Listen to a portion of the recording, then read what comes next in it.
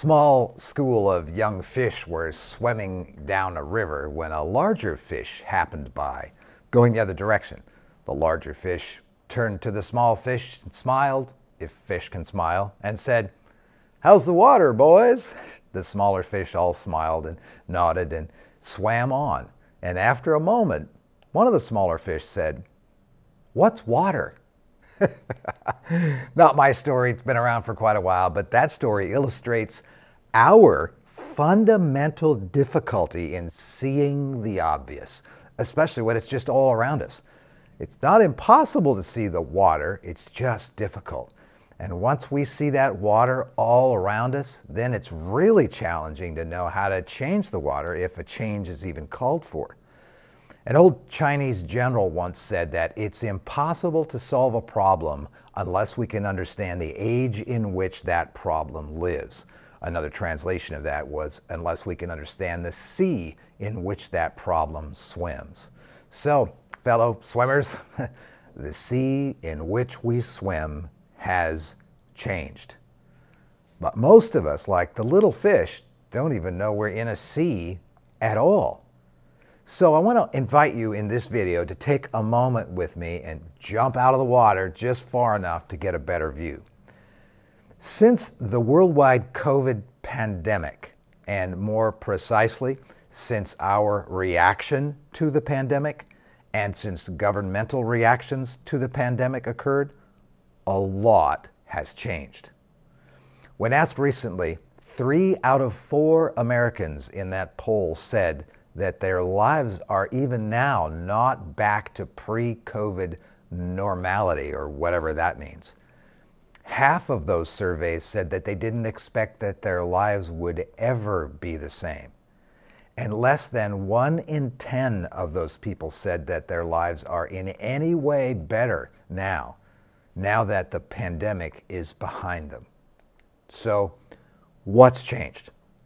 So you're a leader, you're a manager, you're a supervisor, you're an influencer. That's probably why you come and watch these videos where we share stuff with you from the Hilt Academy.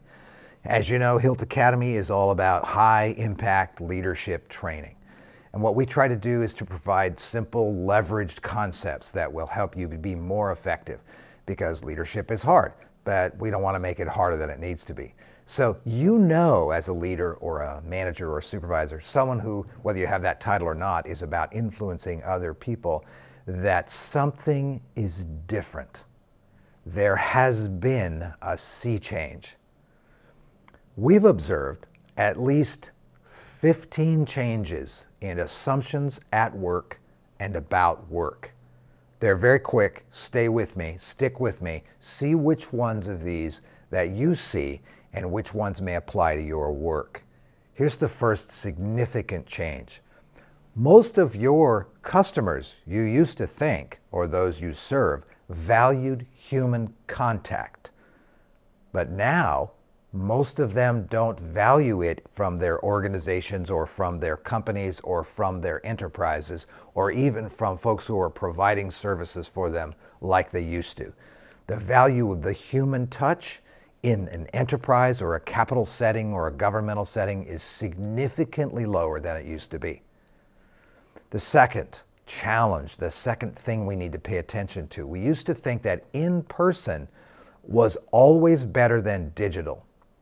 But now, and I'm not saying this is good or bad, it just is. Now, for many things, not all things, but many things, digital is actually better. Here's the third thing we want to pay attention to.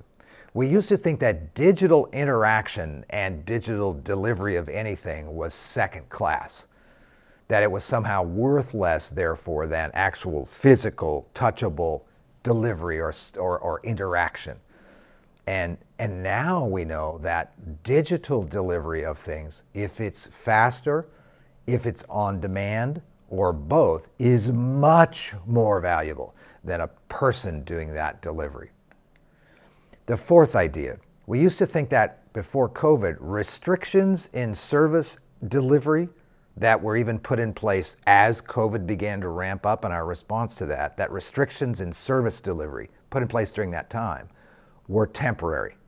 In fact, even before COVID, if there was some sort of interruption in how we got what we needed in our society, we thought, well, that's temporary because service gets better and better and better.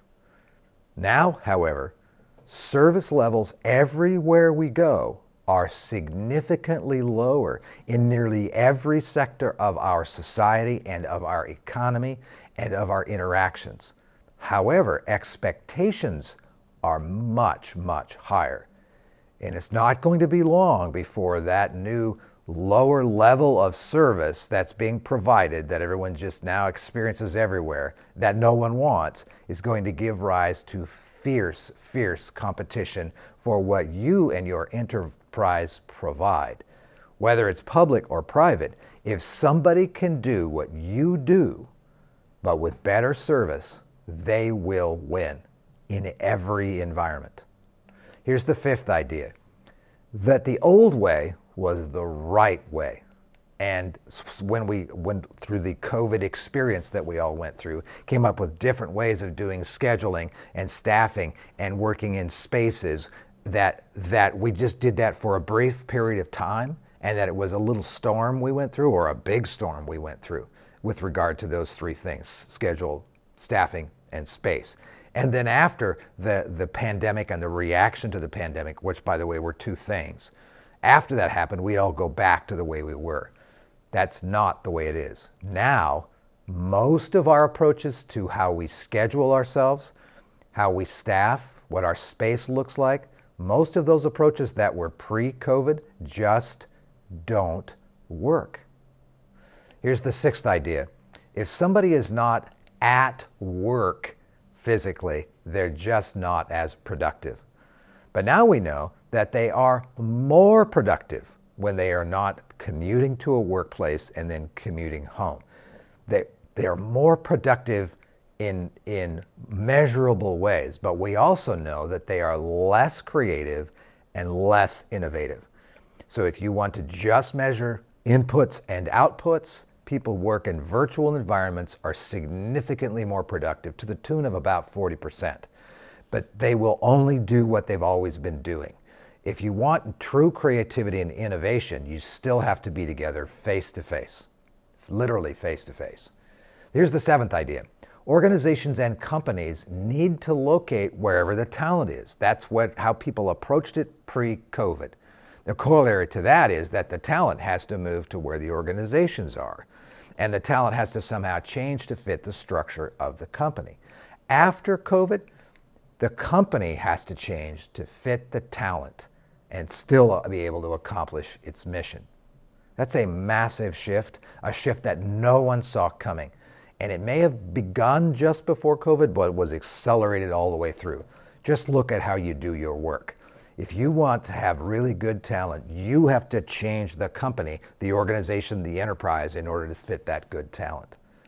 Eighth idea people only have one job, they just work for you, right? That was a long standing way of thinking. That's not the way it works now. They don't work the, for you. it's not even the way they think about it. In fact, most folks work, air quotes, more than one job. It's all over the map, depending upon what season it is that they are in, but most people out there participate in the gig economy. A large percentage of them are doing so in what, you ready for a new term? Ready for this? They're doing so in what is coming to be called the gray market. Think about this. You've heard of the black market before, which is illicit and illegal and escaping any kind of measurement, and it usually runs on cash or it runs on tender that is in some way untraceable. The gray market is a market that's not out in the open and it's kind of in the shadows. That's somebody who does uh, something as a gig, but they only get paid cash for it and they never have to report it and they don't have to follow any rules or regulations. This gray market is notoriously difficult to measure and it appears to be growing dramatically. And bet, uh, it looks like about one in three people are involved anytime in the year in the gray market, either as somebody participating providing something in a gray market or somebody who is buying something in the gray market. But it's very hard to track it. And they do that for a whole bunch of reasons. Most of those reasons are that they just enjoy that kind of work and they don't want to go through the hassle of trying to go through an organization or a company or set up a business. They just like the work. Or they're, maybe they're saving money for something or they're gaining experience for a next level in their job that they can't get in the job that they're in right now. Or they're building their own business and they got to start somewhere or they can't make ends meet in their current job and they need an extra infusion of cash, or they're bored. but that gray market is really, really big. And I'll bet if you can get people to be honest with you, that, that many people around you are involved in the gray market. So here's the ninth idea employees will work the way they're told to work.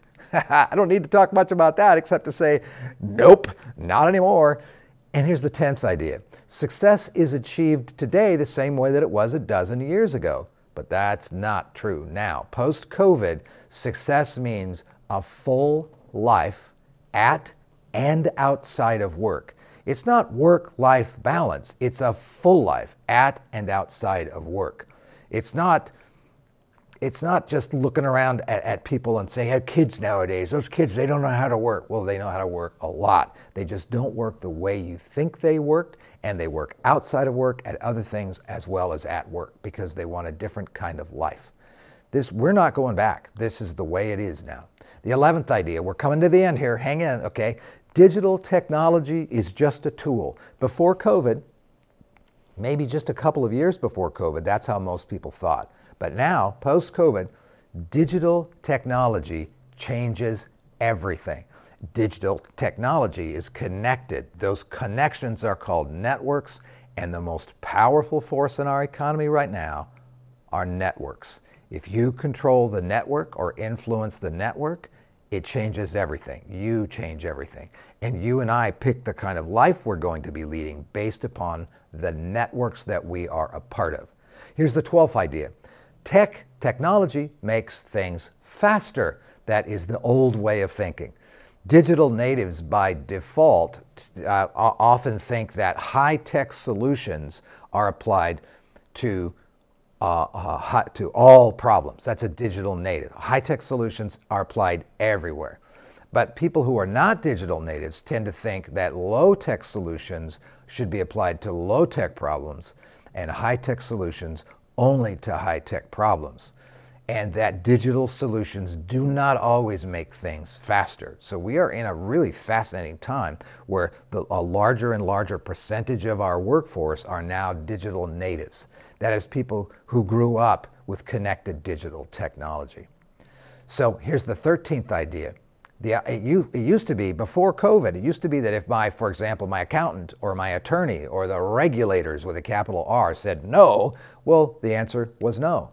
Now, fast forward on the other side of COVID, if, if there's any sort of uh, a response that we gain from how from interacting with federal responses or state or local or hyperlocal responses or people who were experts and people who were in the know, we interacted with them and then we realized, wait, wait, wait, they don't know everything maybe we're going to have to resist that. And so a large swaths of people found out that they could say no with little or no negative consequence. And now in your workplace, you're experiencing that every frickin' time you turn around. Maybe it's good, maybe it's not. We don't know yet. But people do not just nod and salute smartly and turn on their heel and go do whatever they're told to do anymore. Because we discovered that that is not the way it works. Here's the 14th idea we can plan for the future in traditional ways. That's not the way it works now. Now, rather than traditional strategic planning, we now need to learn how to do what's called scenario based planning. We call that strategic positioning. We have other videos here about how to do that. But the idea is that you plan for a bunch of different kinds of futures and give your best effort to those that have the highest likelihood of occurrence and would have the greatest impact if they occur. Here's our last one. We live and work in a capitalistic economy and society. We live and work in a free market. That's what people thought before COVID. After COVID, not just because of COVID, but this is kind of a dateline mark for us. Now, we've come to understand that we live in what is called a surveillance capitalist economy and society. It doesn't mean Big Brother is watching everything we do. That's not what it means but it means that through our digital connectivity, it's possible for folks to not just market to us, but uh, to, uh, to use surveillance marketing. watching every decision we make online, very easy for them to do because we give them permission to do it when we, whenever we say yes to something. And then to curate what is sent our way hundreds of th- and thousands of times in a year because they have been able to watch what we want and what we spend our time on. We do not live in a free market. We live in a, a surveillance market or a capitalistic economy that is based upon surveillance.